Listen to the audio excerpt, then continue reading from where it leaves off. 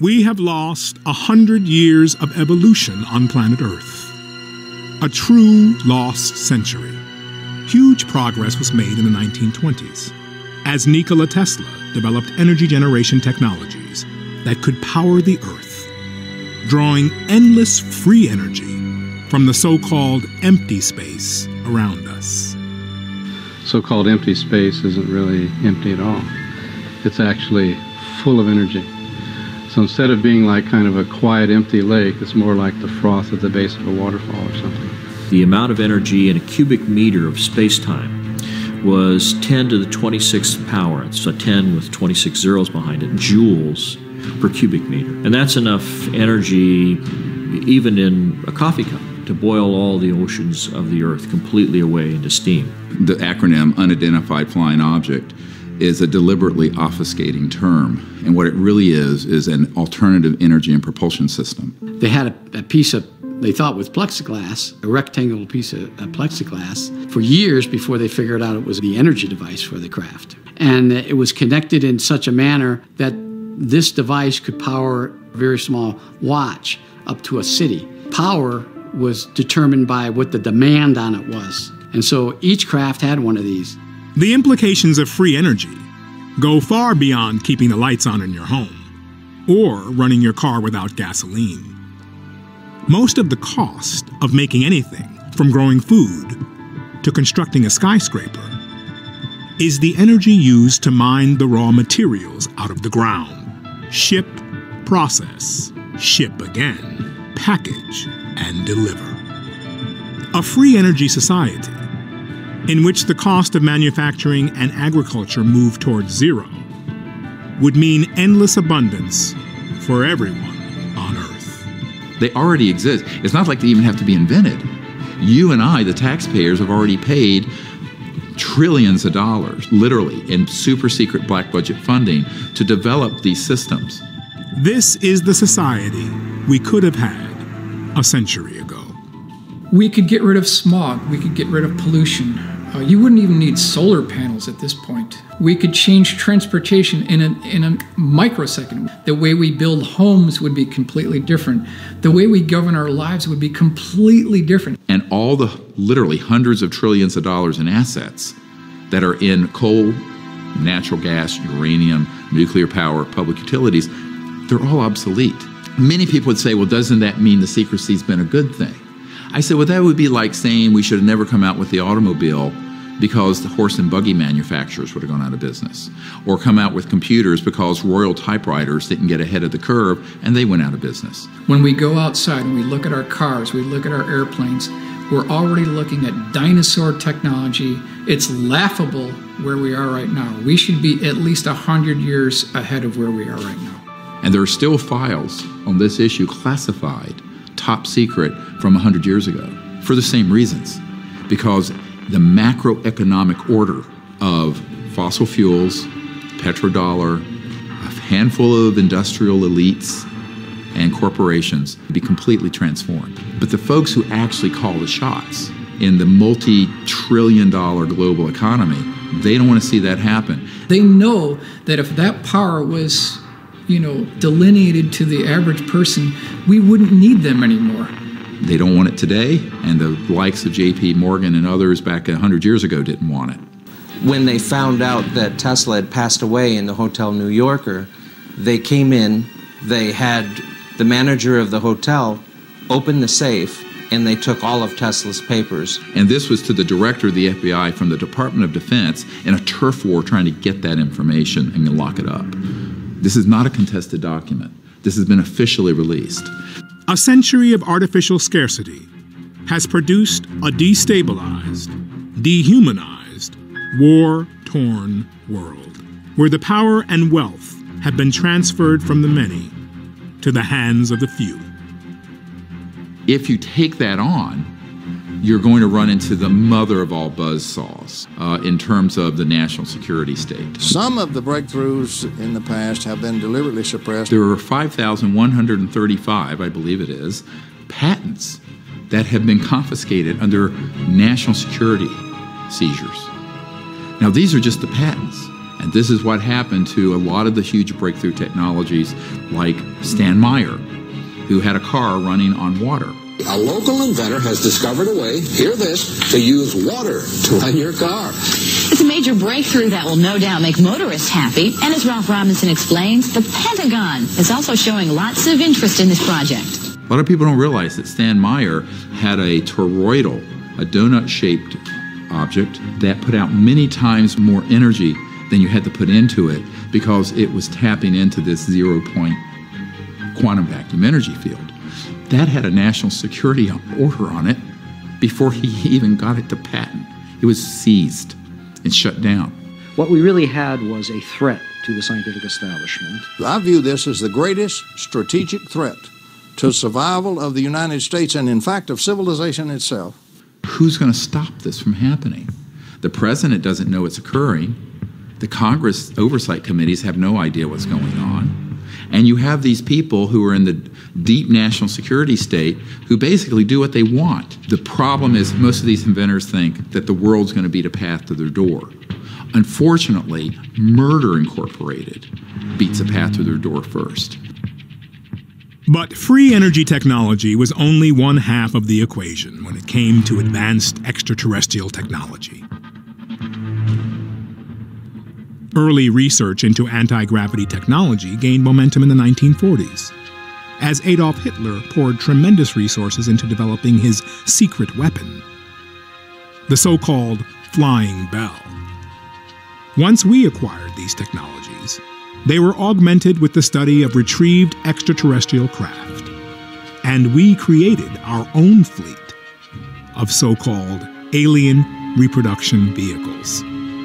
This is where Bell Labs was involved. This is where General Electric was involved. This is where a number of high tech companies gained their knowledge. Lockheed Martin Skunk Works and EG&G and Raytheon and E-Systems and MITRE Corporation and Booz Allen Hamilton and on and on and on. I know many people who've worked in these programs. Quote, we have things flying in the Nevada desert that are 50 years beyond what you could comprehend. If you've seen it on Star Wars or Star Trek, we've been there, done that, or decided it wasn't worth the effort. So that's coming from Ben Rich. Ben Rich headed the Skunk Works between 1975 and 1991. This is the original letter from Ben Rich on uh, Lockheed Advanced Aeronautics Company letterhead. I am a believer, and so is Kelly Johnson. And here it says Dear Ben, there are two categories A, man made UFOs, B, extraterrestrial UFOs. Dear John, yes, I'm a believer in both categories. I feel everything is possible. Many of our man made UFOs were unfunded opportunities. In both categories, there are lots of kooks and charlatans. Be cautious, Ben Rich. We now have the technology to take ET home. Ben Rich, CEO, Lockheed Skunk Works. It is being covered up, but probably not for the reasons you might think. Within the intelligence communities, they have something called ace in the hole technologies. So secret they didn't even talk about it. November 12th of 1988 was their dog and pony show, a classified military exhibit at Norton Air Force Base. And then off in a separate section of the hangar behind a curtain, which was opened up once everyone had gathered, were three of these so-called alien reproduction vehicles, or ARVs. The craft itself was hovering off the floor with no landing gear underneath it, nothing supporting it from above. To see something, uh, you know, travel across 12 miles of airspace in under a second and a half make a couple of right angle turns, and not make a supersonic shock wave of any kind, no sonic boom, which I've personally witnessed on a number of occasions. I mean, it's just, it changes your whole perspective. There were some very good folks, like Secretary Forrestal, and others who wanted to bring the subject out, but in a way where there would be contact that would be peaceful between humans and these civilizations. But there were other people who saw the big gold mine of militarism and war profiteering and the psychological warfare value. Their mandate, repeat, their mandate is to lie, deny, and deceive. There are people who've had uh, experiences with the technology that were not able to handle it psychologically because it just it defies reality. And in this document, the CIA director, Walter Smith, says, I am today transmitting to the National Security Council a proposal in which it is concluded that the problems connected with unidentified flying objects appear to have implications for psychological warfare as well as for intelligence and operations. We have to take a step back from all the jargon and all the paranoia in Star Wars movies for just a minute and realize that it's very easy to set up a false flag operation. A false flag operation, also known as a false indication and warning, is a military tactic in which you create the illusion of a threat, often by attacking yourself and blaming the desired enemy. It's proven extremely effective at uniting the public around a perceived threat. And this is actually a, a well known concept in military intelligence circles. We did it in the Gulf of Tonkin in Vietnam, where we exaggerated, if not completely staged, an attack on our naval vessels so we would stampede President Johnson and the Congress into vastly expanding the Vietnam conflict to benefit, guess who? The military industrial complex and the war profiteers. U.S. military officials, for example, for, have have planned through a project called Operation Northwoods back in 1962 to dress up uh, Cuban refugees in, in Cuban military uniforms, have them attack Guantanamo base and kill U.S. military personnel, sink uh, U.S. military ships, and blow up uh, shopping centers in Miami, targeting, killing uh, refugees from Cuba to infuriate the American uh, population so that they can invade and occupy Cuba. It's astonishing that anybody would dare to make a recommendation like that, but they did. Then you can look at Iraq. Concocted all kinds of false information about weapons of mass destruction, which Saddam Hussein did not have, and it was known in intelligence circles he didn't have. Fracture that whole part of the world, and now we have ISIS. So we have to realize the machinations and manipulations that go on behind the scenes leave us very vulnerable. And the big one is this one where they could say, oh, yes, the UFOs are real, but guess what? They're a threat, and we need to unite the world, like Will Smith said in the original Independence Day. Something you want to add to this briefing, Captain Hiller? No, sir. Just a little anxious to get up there and whoop ET's ass, that's all. Efforts on the part of a certain element within the kind of ruling structures of our planet to try to utilize the discovery of extraterrestrial intelligence as an ultimate threat, the ultimate other bad guys, to justify the national security state uh, dream of locking down and putting under complete control of an authoritarian ruling class the control of the planet and the resources. The nations of the world will have to unite, for the next war will be an interplanetary war. The nations of the Earth must someday make a common front against attack by people from other planets. General Douglas MacArthur.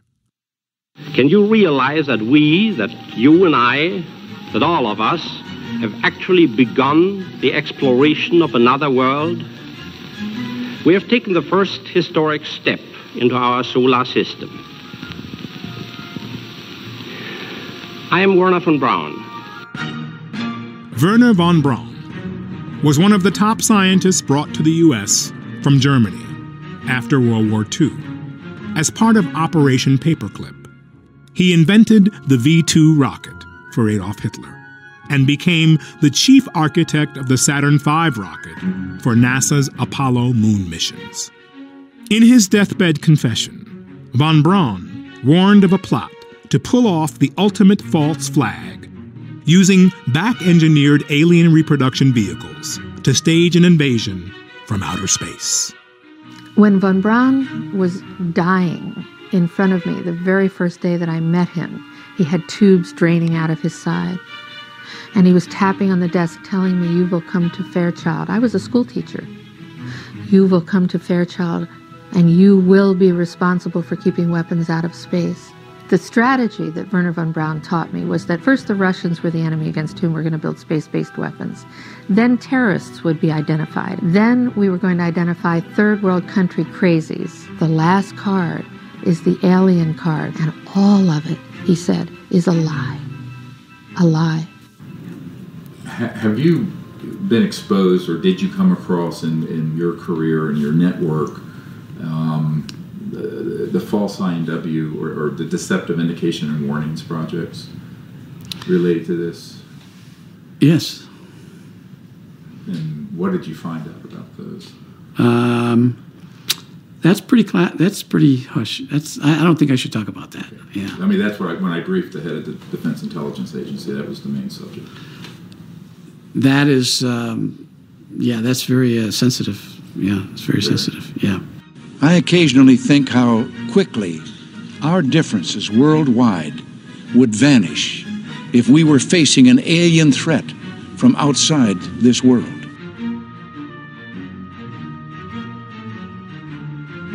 Well, the only problem with that is that if you look at the technologies that permit for interplanetary and interstellar travel, it's a thousand times more developed than a hydrogen bomb, which, if we were to have a massive exchange of nuclear weapons, would leave most of all life on Earth extinguished. Therefore, how could we possibly have armed conflict with another planetary system for more than a nanosecond and survive it? They know that we couldn't. But it's a way of manipulating the public through demagoguery of fear, jingoism, false nationalism, and creating a boogeyman out in space. Were you surprised when your daughter enlisted? Not at all. She's a born leader. I know I've been taking orders from her since she was five years old. So you don't worry about her? Of course, I worry about her. I fought in the war in 96. I know what those things are capable of. But I know what my daughter is capable of. And I know this planet is safer because she's defending it.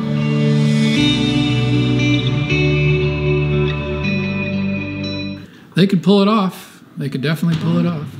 Right now, they have the technology to mimic the form, fit, and function of extraterrestrial UFOs. They have the technology, absolutely. It's seamless, and you can never tell the difference. If they do have a false flag invasion, they're going to use one of these. This is the Hudson Valley Boomerang. This is 1982 to 1989. Over 25,000 eyewitnesses reported this craft. They can use the saucers, the cigars, the pyramids, the triangles as a united coalition and that's how they're, they're going to do it. We're talking about 150 to 172 feet across for the wingspan, which is the identical wingspan of the B 2 stealth bomber. So the question we need to ask is was some of that 22.4 billion used on the B 2 poured into this program? It's the exact same time frame when they power up and when they accelerate. Um, it looks like a spark off a grinding wheel, and you could never know the difference. So, if they wanted to hoax an alien invasion, they could do it and they could do it in a way that's 100% believable. They started doing all kinds of psychological warfare entrainment of the public by staging hoaxed events such as cattle mutilations. Oh, it's a flying saucer did that. It's a covert paramilitary program, human. So if you wanted to start indoctrinating people into a false threat from outer space that Werner von Braun warned us about, you would start staging events that look alien, but that are completely man made, that are scary and scare the hell out of people. UFO encounters are categorized into four groups. Close encounters of the fourth kind include people who claim to have been abducted by extraterrestrials. If you had a close encounter of the fourth kind and you are back, we're anxious to hear from you. Inner stage left, you got these uh, sort of anti gravity devices with creatures that look like ETs that are actually man made robotic systems. They're called programmed life forms. And you start doing select interfaces with the public. We did do that, yes. Uh, OSI did that. There was a special group uh, out of uh, the 7602nd Air Intel Wing at Fort Belvoir. They came out and did that. They uh, had these uh, people that had maybe some sort of defects, uh, anatomical defects that were uh, brought brought in to, to, to, to, fool people into thinking they're aliens. Yeah. Um, I can't give you any specifics because it's still the program is still classified, and they probably still doing it. I wouldn't doubt doubt it. They were still doing it. So they've already got this psychological warfare already embedded into the minds of people to expect an extraterrestrial, not a secret aircraft, but an alien craft. So when they do pull this, they'll already have everything ready to roll. These civilians got onto the base and, and got into something. They saw something they weren't supposed to see. And this group came out and went into their home and scared the dickens out of him And staged an alien event. Exactly. The government will use the extraterrestrial phenomenon to cover their own deep black programs. And so that's the fight that we're up against here. And then it makes it out through the, the movie industry and the UFO lore and the internet and what have you, and it starts creating this specter of a threat.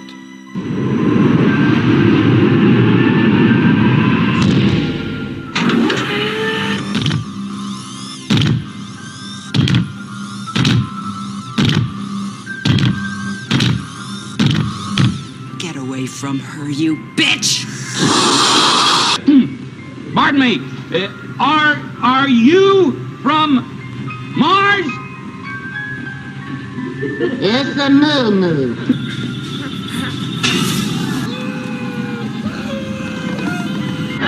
Nicht Deutsch? It's a moo moo.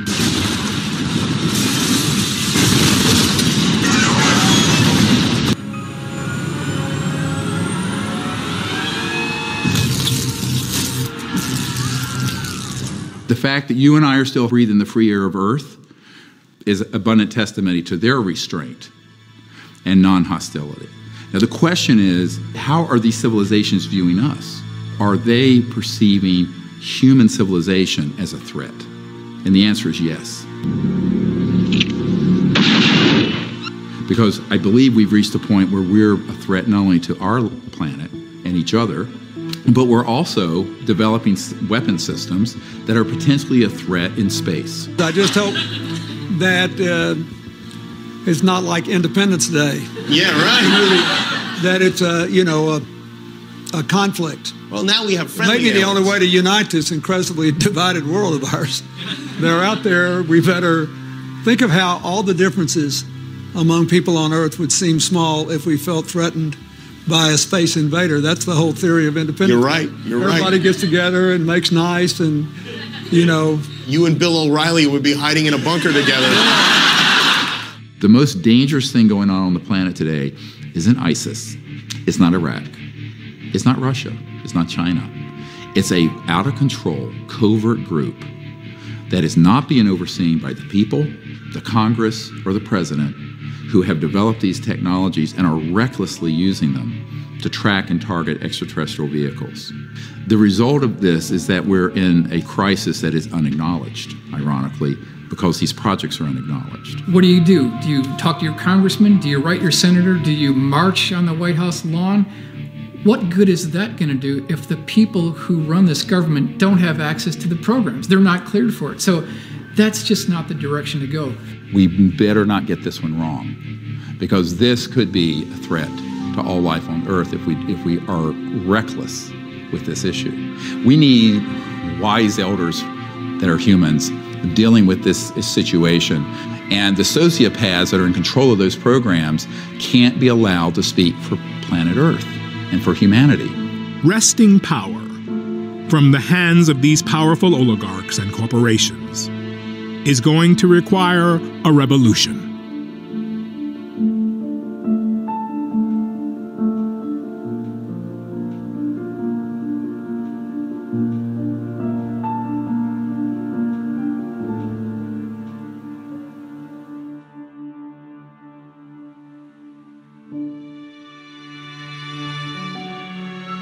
One of the more hopeful events that happened over the last decade was what I call the French Initiative.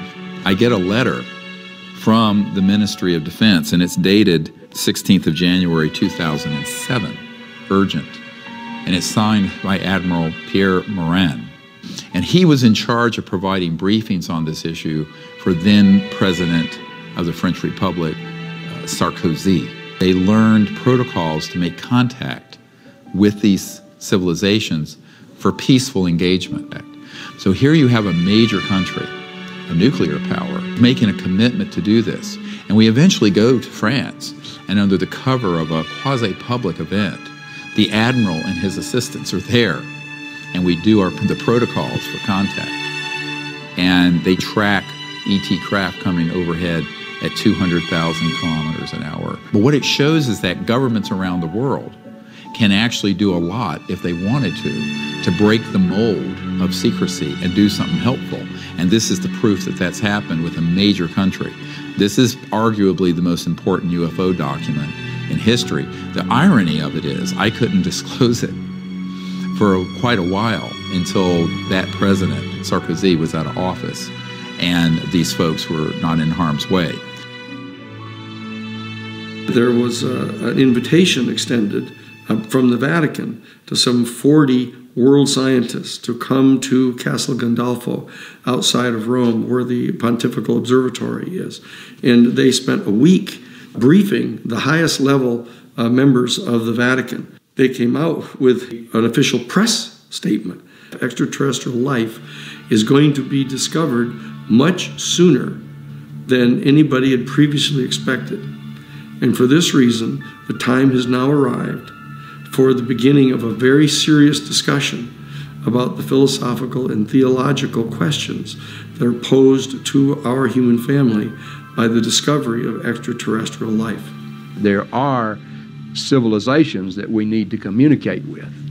And I think we've reached that point in our evolution as a, as a human race that we need to recognize that. And the thing that disturbs me is that the U.S. is going to be a third world nation in, in that field if we're not careful by having all of this secrecy and refusing to set up any kind of diplomatic protocols as, as I know that you have called for and I believe in very strongly. The biggest event in the history of humankind is the discovery that we are not alone.